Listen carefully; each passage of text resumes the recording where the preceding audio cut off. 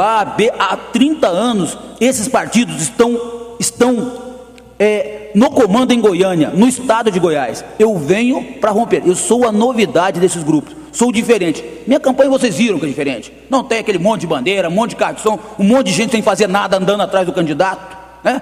Pois não, é, o senhor fazer campanha sozinho nas ruas não, não, não, não, é um pouco estranho, não? Não pega mal? Não parece que está muito isolado, falta de apoio? Não pode passar essa mensagem ao eleitor?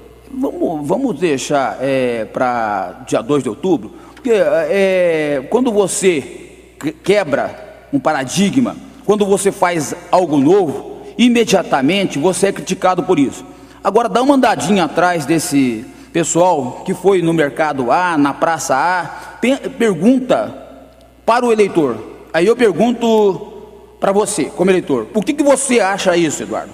Você ter 40 pessoas atrás de um candidato. Quem que tem que pedir o voto? Não é o candidato a prefeito?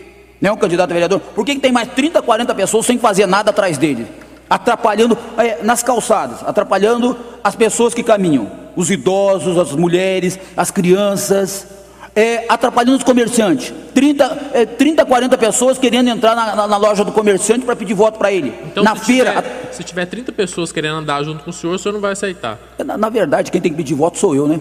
É, quem tem que pedir isso, voto sou eu e eu candidato a vereador. Nós que temos que ir ao, até o cidadão, não é colocar. Isso é, nós não estamos é, numa nova legislação eleitoral. Nós não estamos onde se diz, onde se diz que você deve fazer contenção de despesas, será que essas 30, 40 pessoas aí e os carros que estão parando nas proximidades, engarrafando tudo, evitando que o cidadão de bem fique ao redor dele, vão ser lançados na, na, na campanha eleitoral? Porque se você está prestando trabalho voluntário, eu quero ver, depois quero ver pela fotografia de cada um deles, se todas essas pessoas que estão atrás desses candidatos, se eles estarão entrando, né, muitos funcionários públicos, de gabinetes de deputados, se eles estão entrando na conta dos pré-candidatos.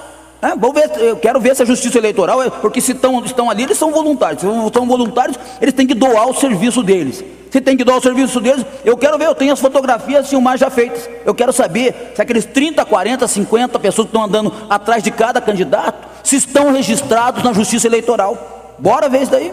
7h53, estamos entrevistando o delegado Valdir, candidato à Prefeitura de Goiânia pelo PR.